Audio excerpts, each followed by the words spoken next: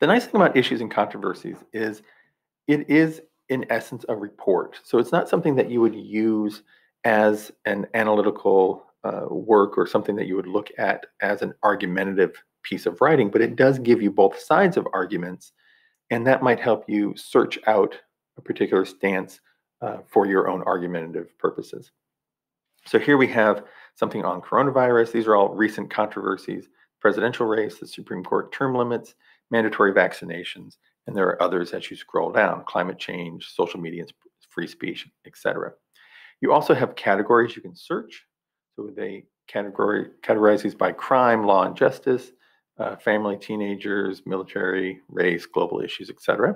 They'll give you an alphabetical listing and then they'll show you additional items. If you click the show all button, it'll show you all the items listed underneath that broad category.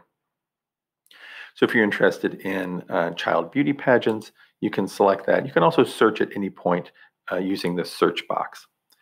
What it will do is give you a series of pro-con articles. In this case, they're going to give you uh, information on eating disorders, childhood obesity, child abuse, etc., beauty pageants.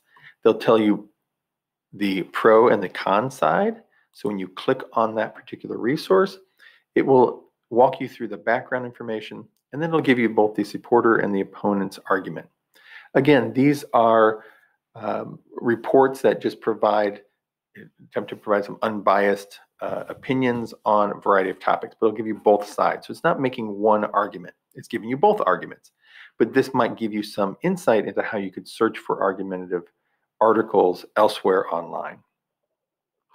It's a very helpful tool to get you started if you're kind of lost for what, what type of topics are out there that are argumentative or controversial.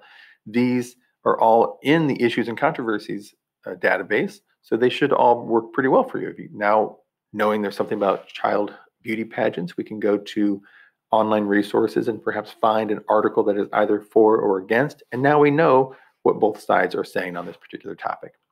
I hope that helps get you started on selecting an argumentative topic. And uh, if you have any questions, please don't hesitate to reach out to a librarian. We're always happy to help. Take care.